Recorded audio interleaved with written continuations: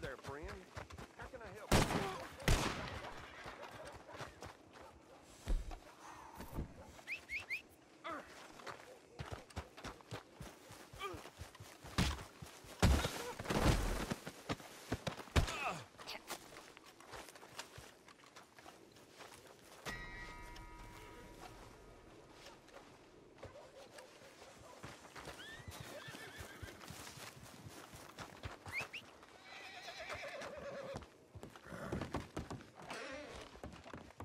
Hello.